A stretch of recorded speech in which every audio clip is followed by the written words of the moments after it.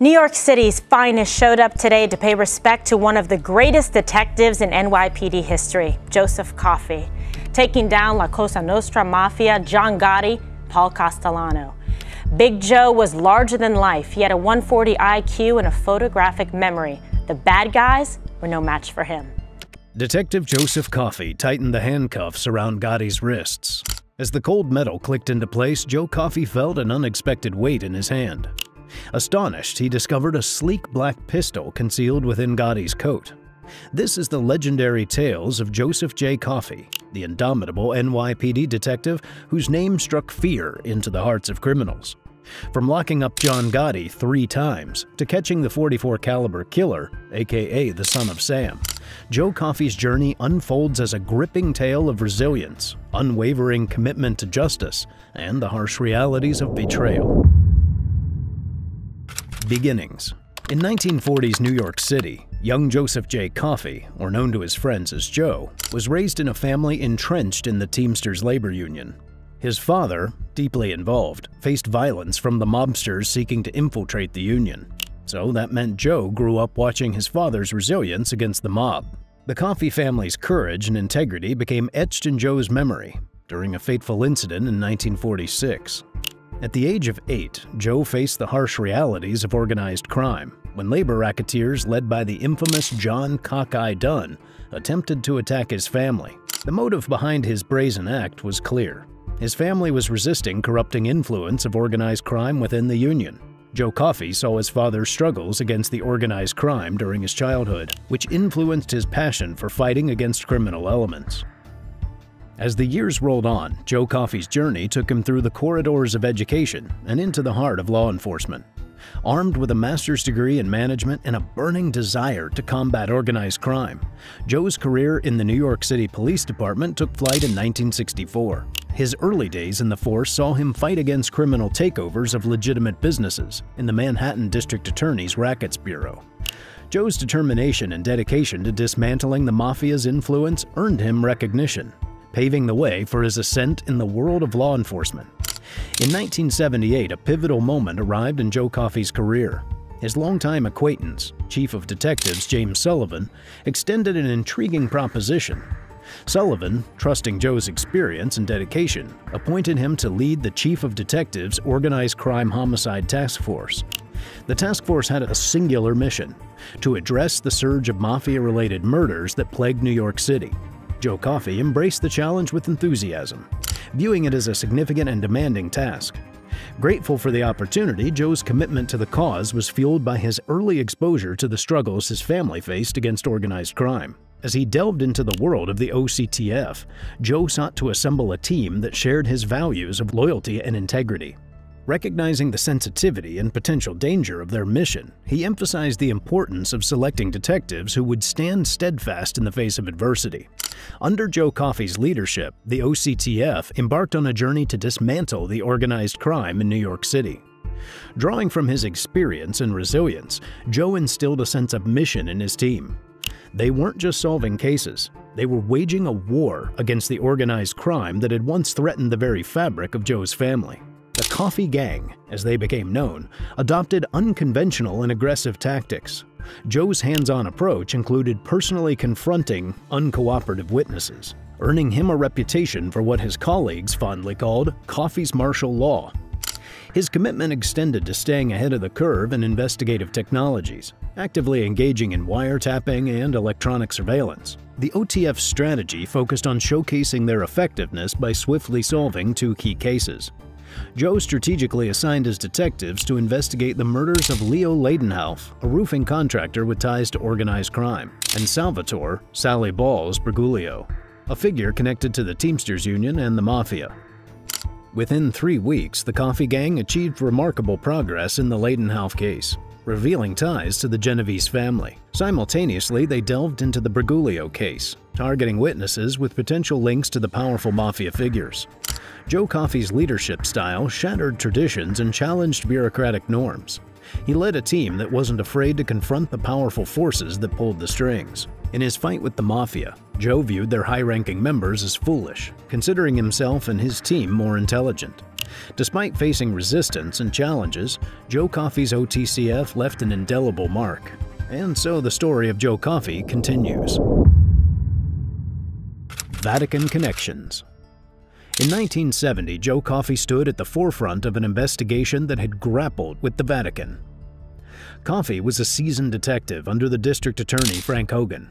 The tale began when Coffey found himself immersed in a case that transcended beyond the New York City, leading him across the Atlantic to Munich. A powerful mobster named Vincent Rizzo became the focal point of Coffey's pursuit.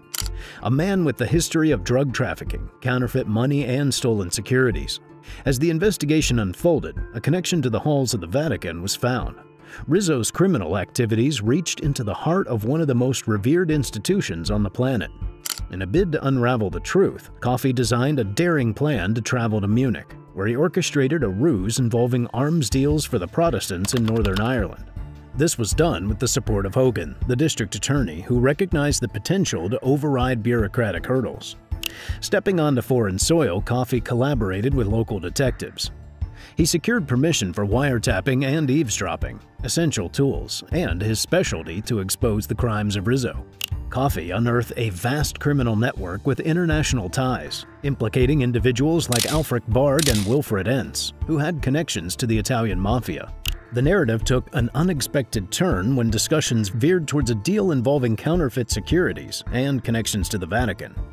A significant revelation came to light a plan orchestrated by Cardinal Eugene Tisserant and supported by Archbishop Paul Marcinkus to purchase $950 million in counterfeit U.S. corporate bonds. This revelation angered Coffey, as he was a devout Catholic himself and was determined to expose the priests representatives from Washington embarked on a journey to the Vatican, armed with evidence presented by Coffey and his team. However, Vatican and the Church refused to acknowledge the implications of the presented proof. Frustrated by the lack of progress and unable to pursue charges against Archbishop Paul Marcinkus, Coffey experienced a career shift, leaving the DA's squad, and embraced the role as a patrol sergeant in East Harlem's 25th Precinct. Meanwhile, the Italian police initiated their own investigations into the crimes of Michele Sindona, also known as the God's Banker, as he handled the Pope's finances. This investigation by the Italian police accused the Vatican Bank and Archbishop Paul Marcinkus of looting $1.2 billion from Banco Ambrosiano, the Italian bank.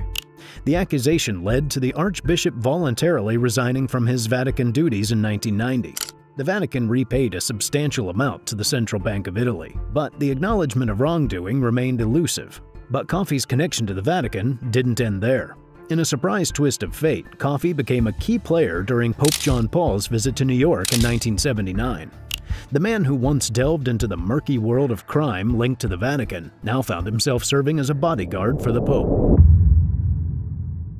Son of Sam in the late 1970s, Joe Coffey found himself thrust into the heart of one of the most notorious criminal investigations in New York City's history the hunt for the son of Sam, a renowned serial killer. With 13 years of experience on the force, Coffey, a seasoned detective sergeant, had primarily dealt with professional criminals who operated behind the scenes. However, the Son of Sam case would bring him face to face with the reality of a killer who struck fear into the hearts of city residents. It all began with a seemingly ordinary case a murder investigation in Forest Hills, Queens. A 26 year old Wall Street secretary named Christine Freund had been tragically shot while sitting in a car with her boyfriend, John Diel. Little did Coffey or the New York City know that this case would unravel into a series of murders that would grip the entire city in terror. As Coffey delved into the investigation, he received crucial information from the ballistic expert George Simmons. The 44 caliber bullet used in Freund's murder was identified as rare, and Simmons believed it matched bullets from other unsolved cases. This revelation led Coffey to a theory. A serial killer, armed with a 44 caliber Charter Arms Bulldog handgun, was on the loose in New York City. Armed with this theory, Coffey faced an uphill battle in convincing his superiors, including Captain Joe Borelli, of the existence of a serial killer. Skepticism lingered, but Coffey's determination prevailed, and an informal task force consisting of about 15 detectives and squad commanders was formed to investigate the potential serial killer. The urgency of investigating escalated when another victim fell prey to the killer, Virginia Voskerichian. Coffey felt a personal connection to the case as he thought about his own daughter, Kathleen, who was close in age to the victims. The pressure intensified, and Coffey found himself emotionally invested in solving the case. The investigation, however, was far from straightforward. Leads proved elusive, and the task force faced challenges in deciphering the killer's modus. Coffey collaborated with fellow detectives as they navigated the complex web of the serial killer's actions. Coffey's leadership style shone through during this challenging period. Described as a dedicated and hard-working detective, he expected the same level of commitment from his team. The detectives worked tirelessly, conducting interviews with victims' families, exploring potential motives, and piecing together the puzzle that would lead them to the elusive killer. The toll of the investigation extended beyond the professional realm. Coffey and his team faced personal sacrifices and emotional exhaustion. The city was gripped by fear, and the detectives were at the forefront, grappling with the enormity of their task. Despite the challenges, Coffey's predictions proved accurate. The killer struck again on the anniversary of the first murder, reinforcing the urgency of the investigation. The pressure on the detectives was palpable, with each passing day bringing the fear of another innocent life being taken. As the investigation unfolded, the detectives faced an immense challenge of handling the media frenzy and public reaction. Dark-haired women changed their appearance out of fear. Serial killer David Berkowitz, aka the son of Sam, was thought to be targeting women in New York City who had long dark hair. The very real fear of being a target led many women to cut their hair short, dye it, or wear wigs. In the end, the relentless pursuit of justice led to the arrest of David Berkowitz on August 10, 1977. The investigation, however, was not without its controversies. Infighting over promotions and rewards created tensions among the investigators, but Joe Coffey stood tall as he cared more about justice than promotions. The Gotti Arrest In the streets of New York City, a relentless pursuit was underway. Joe Coffey, a seasoned law enforcement official, found himself on the trail of one of the most notorious mobsters of his time, John Gotti. The year was 1988, and Gotti's swaggering presence loomed large over the organized crime in New York, especially after orchestrating the demise of Paul Castellano to assume the control of the Gambino crime family. Coffey, a man driven by a sense of justice and a desire to dismantle the organized crime networks plaguing his city, had a particular interest in Gotti. As the sun dipped, Coffey and his team closed in on their target. John Gotti was arrested. Gotti, even when his hands were cuffed behind his back, exuded a peculiar mix of arrogance and defiance. Even in custody, he remained the epitome of a streetwise thug, a persona he cultivated and relished in the public eye. The arrest was not a mere procedural formality. It was a culmination of relentless efforts, fueled by Gotti's audacious displays in the media, Every appearance of the Teflon Don only served to fortify Coffey's determination to bring him to justice. The arrest scene was not just a moment of reckoning for Gotti, but also a testament to Coffey's unyielding dedication. The unmarked car pulled up near the Ravenite Social Club in Little Italy, where Gotti, surrounded by detectives, was confronted by the long arm of the law. The arrest occurred during what was known as Capo Night at the club. During the frisking process, Coffey's keen instincts kicked in, as he discovered something metallic in Gotti's belt, prompting a pointed interrogation. Gotti, with his quick-witted charisma, claimed that it was his belt buckle. Coffey, undeterred, proceeded to handcuff him and pull the gun off him, marking the end of Gotti's reign as a free man. As the news of Gotti's arrest reverberated throughout the city, it sent shockwaves through the criminal underworld. For Coffey, it was a moment of triumph, a step closer to dismantling the powerful criminal empire that had eluded justice for far too long. The arrest of John Gotti wasn't just about a single man facing the consequences of his actions. It was about delivering a blow to the heart of organized crime in New York. The arrest unfolded against the backdrop of Gotti's legal troubles. The mobster had been implicated in the shooting of John O'Connor, a key figure in the ongoing investigations into mob-influenced unions. Gotti's confidence as he was led to the station for questioning was unwavering. Three to one, I beat this crap, Gotti said. Coffey, however, saw beyond the bravado. He saw a man whose arrogance fueled the fire of law enforcement's determination. Gotti's public persona, who seemed untouchable, only intensified Coffey's resolve. As the unmarked car made its way through the city streets, it was a pivotal moment in the ongoing battle against organized crime in New York City. The arrest was not an isolated event. It was a chapter in a larger narrative of law enforcement's struggle against the formidable forces of the mafia. Gotti's legal battles were numerous, including trials related to the O'Connor shooting and a RICO charge stemming from an armored car heist. Despite the mounting pressure, Gotti adhered to the Mafia Code of Omerta, refusing to cooperate with law enforcement. Coffey, however, believed that Gotti's courtroom victories were not simply a result of legal prowess. He suspected foul play, pointing fingers at potential case fixing and jury manipulation. The Gambino boss seemed to have an uncanny ability to slip through the fingers of justice, earning him the moniker Teflon Don from the media. In the aftermath of Gotti's arrest, the landscape of organized crime underwent a seismic shift. The Gambino crime family was weakened and the once mighty Colombo crime family crumbled, leaving only three dominant mafia families in New York Genovese, a leaderless Gambino, and the Lucchese. The power dynamics were shifting, and law enforcement, spearheaded by Joe Coffey and the Organized Crime Task Force, played a pivotal role in disrupting the invincible criminal hierarchies. The Retirement Betrayal In the dimly lit room, Joe Coffey sat amidst the buzz of congratulatory chatter, the clinking of glasses, and the occasional outburst of laughter. The retirement party thrown in his honor by federal prosecutor Rudy Giuliani was in full swing, Colleagues and law enforcement officials filled the space, expressing their gratitude for Coffey's decade-long dedication to solving organized crime cases in the heart of New York City. As he soaked in the accolades and well wishes, little did Joe Coffey know that betrayal loomed in the corners of his celebration. His decision to retire on that March evening in 1985 marked the end of a storied career, but it also set the stage for an unexpected turn of events that would cast shadows on his legacy. That night was meant to be a culmination of Coffey's achievements, a recognition of his pivotal role in high-profile cases. Amidst the celebration, however, there lingered an undercurrent of tension. Chief of Detectives Nicastro, a figure with whom Coffey had clashed in the past, observed from a distance. The source of their friction was a blend of political rivalry and personal animosity that added an edge to the otherwise festive atmosphere. As the night progressed, a plaque from the FBI was notably absent in the lineup of commendations presented to Coffey. The omission raised eyebrows, but the real shock came later when Coffey discovered the unsettling truth.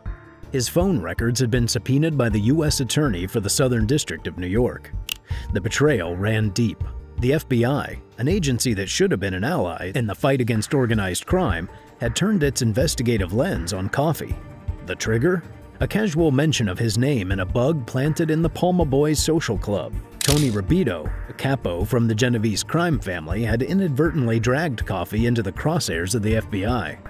The revelation left Coffey grappling with a sense of betrayal and disillusionment. The very agency he had worked alongside had scrutinized his actions, sowing seeds of mistrust that would shape his post-retirement perspective. The tension escalated further when, during his retirement party, the FBI hesitated to present him with a plaque. The reason was said to be in the book titled The Vatican Connection by Richard Hammer, implied that the Bureau had failed to follow leads developed by Coffey. The incident underscored the complexities and mistrust that now colored Coffey's relationship with the FBI. The retirement party, initially a joyous occasion, had become a battlefield of conflicting emotions. For Coffey, the atmosphere was changed with a mix of celebration and resentment. Yet, true to his resilient nature, Coffey soldiered on and kept his cool. Despite the setbacks, life after retirement beckoned. Joe Coffey joined forces with Ron Goldstock, embarking on a new chapter in private investigations. The transition allowed him to channel his expertise into uncovering truths beyond the confines of official law enforcement. One such case led Coffey to Houston, Texas, where he and a colleague delved into a real estate investment firm entangled with drug-related issues. The pursuit of justice, it seemed, was a flame that continued to burn, even beyond the official badge and precinct walls. Yet the scars of betrayal remained. The bitterness that had seeped into Coffey's professional journey cast shadows on his perception of the institutions he had served. The FBI, once a trusted partner, now stood as a symbol of a broken trust and unanswered questions. As time passed, Coffey's determination to move forward did not waver. His personal life became a sanctuary, offering moments of solace amidst the tumult of post-retirement revelations. With his wife Pat and his daughter Kathleen and a brother Tom, Coffey found refuge in family bonds that provided stability and support.